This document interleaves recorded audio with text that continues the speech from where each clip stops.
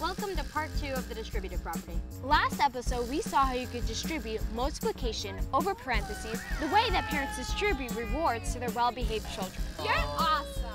But like the fickle minds of the parents, the distributive property giveth, but also factoreth out. That's it. Um, give me the force. I'm factoring force from all of you guys, and I'm Mom, I putting it on the fridge until you behave.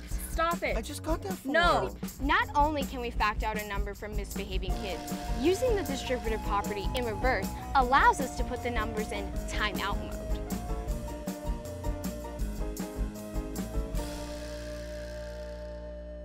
Say we have 14x plus 56, and both numbers are totally misbehaving. We want to use the distributive property in reverse to put both numbers on a timeout mode. The first thing you could do is look for a common factor of both numbers. With 14, we have 1 and 14 and 2 and 7. With 56, we have 1 and 56, 2 and 28, 4 and 14, and 8 and 7. So the common factors of 14 and 56 are 1, 2, 7, and 14. Let's use 14 because it's the greatest common factor. Now we can place the 14 on the refrigerator by itself. But since we did that, we have to put parentheses around the x plus 4 because both of those numbers are on timeout mode together. Once the numbers learn to behave, we can fairly redistribute the 14 to the x plus 4, and we end up in the same place, 14x plus 56. So, to recap, I have a number that's misbehaving, factor it out and place it on the refrigerator by itself. Then put the misbehaving numbers in timeout mode with parentheses. To check your answer, redistribute and see if you end up in the same spot.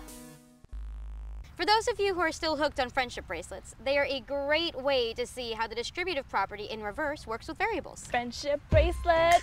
Who are we gonna make them for this time? Ooh, okay, so Karen, Merm, and Juhi. I wanna make one for Devin. Oh, then we need Erica and Judy, and then we need Nathan and Shannon, and Ponytail Sound Guy, and Legal Department, and Future Us as well. And here's where the distributive property in reverse comes in handy. We can use it to establish how many we can make out of how many we have. Okay, so you have 36 blue bands, 48 yellow bands, a handful of black ones, 60 red ones, and you had one white one. I can make 12.